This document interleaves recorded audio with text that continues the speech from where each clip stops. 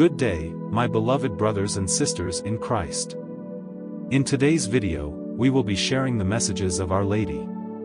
Wishing you a delightful start to the day and heavenly power through it, each morning begins with Jesus Christ's holy grace and benevolence.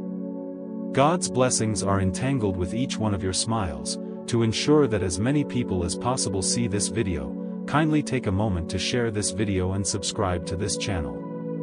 Before coming to the main part of this video, let's join us and pray together. God bless you all. Let us pray. And of the Holy Spirit, Amen. Our Father who art in heaven hallowed be thy name thy kingdom come thy will be done on earth as it is in heaven. Give us this day our daily bread, and forgive us our debts, as we forgive our debtors, and lead us not into temptation but deliver us from evil, Amen. Hail Mary full of grace the Lord is with you. Blessed are you amongst women, and blessed is the fruit of your womb Jesus. Holy Mary, Mother of God, pray for us sinners. Now and at the hour of our death, Amen. Come Holy Spirit, fill the hearts of your faithful and enkindle in them the fire of your divine love, send forth your Spirit that we be created, and you renew the face of the earth.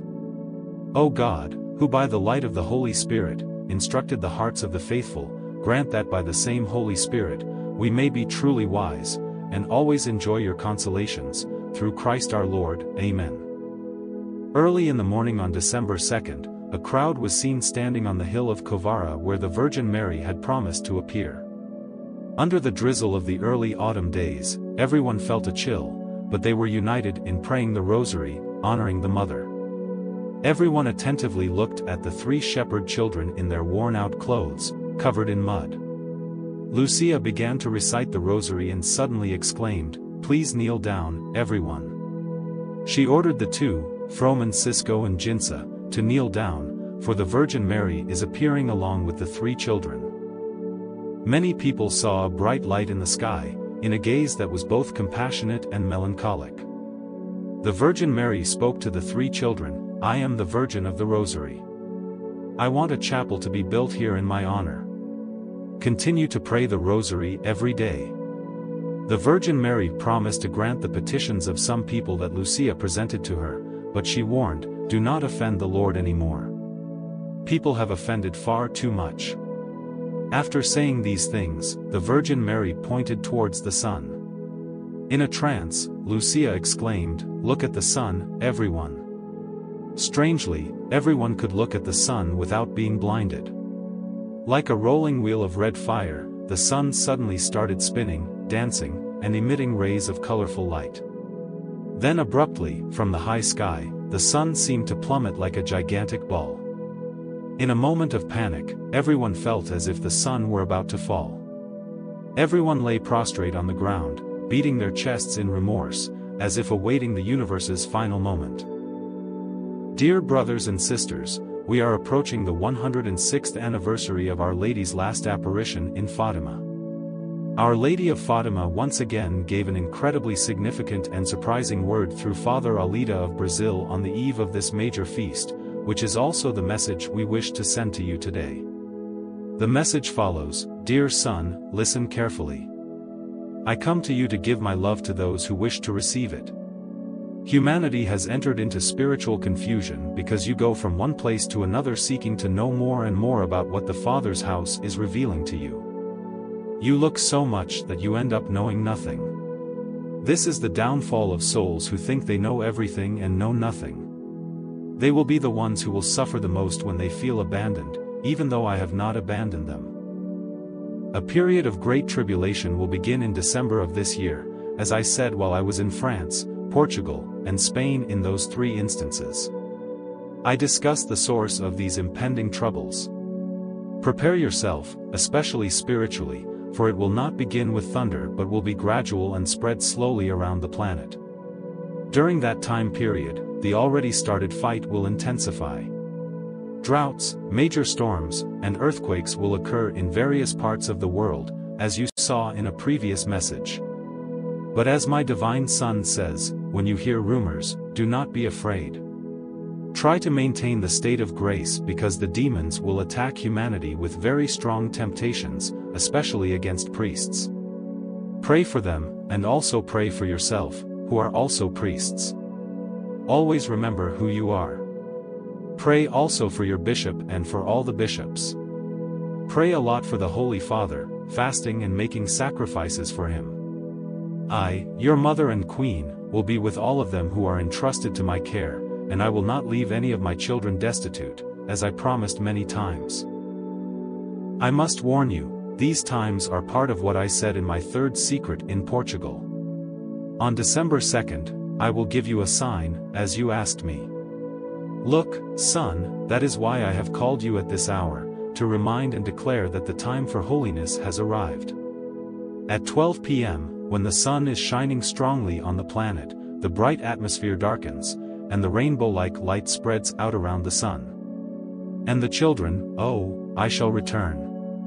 I want you to send your desires in prayer by opening all the doors in your house and praying for 1 minute and 11 seconds. When you have finished praying, extend your hands to accept the warm rays of sunlight. This is my mercy. That is why I will show you the date I received from God. The mission to watch with the holy angels that the Lord put at my service and all those who gave their lives, there will be a great devastation of Russia instigated by the dragon of hell. This will cause harm to the whole world. However, do not fear. This is the opportune time for holiness. Remember, remember that the saints appeared in times of great darkness, the times of tribulation. Especially this should not be faced with fear and cowardice but with love and courage. Increase your faith, remaining closer to my divine Son. Keep him in mind at all times and place within him the works and continuous actions of each day, so that constant dialogue with my divine Son may lead you to belong to him and not to worldly things. My children, sins have exceeded the limits. Shame has become a distant thing for my children. Envy is swarming everywhere in evil. My children need to love as my son loves them. You need to be creatures of good and spread the good seed in order to bear good fruit. Children, I see again how on various continents some places are burning due to fire, and the smoke spreads to other places, making it seem that the fire spread more than is really the case. Little by little, everything will return to apparent normality, and my children will leave their homes where they have had to stay, noticing as they come out that the air carries something unnatural with it, and sickness will take hold of my children for a few days. Although you will experience commotion everywhere, my son will send new clean winds with greater strength so that what has been done may depart, and so that you may breathe freely. My children, prepare yourself spiritually. I will not tire of calling you to spiritual conversion. I love you, children. I bless you. I protect you. That comes to the end of the message. Dear brothers and sisters, in the face of the impending tribulations and challenges that lie ahead, Our Lady reassures us not to succumb to fear and cowardice. Instead, she urges us to embrace love and courage, to stand firm in our faith, and to remain close to our divine Son, our Lord and Savior Jesus Christ. Let us heed her call to increase our faith, to keep him in our thoughts and actions, and to fill our days with his divine presence. We live in a world where sins have escalated, where the sense of shame has waned, and envy perpetuates evil. Our Lady beckons us to love as Christ loves us, to be instruments of good, and to sow seeds of kindness and compassion. As we witness the turmoil and strife that pervades our world, we must cling to faith and hope, knowing that even amidst the darkness, the light will prevail. As the world grapples with the consequences of its actions, we must ready ourselves for the spiritual battle that lies ahead. Our Lady beseeches us to prepare spiritually, to embrace spiritual conversion, and to draw closer to the sanctuary of God's love and grace. May we all heed Our Lady's divine message, embracing the opportune time for holiness. Let us stand united, holding firm to our faith, and shining the light of Christ's love upon the world.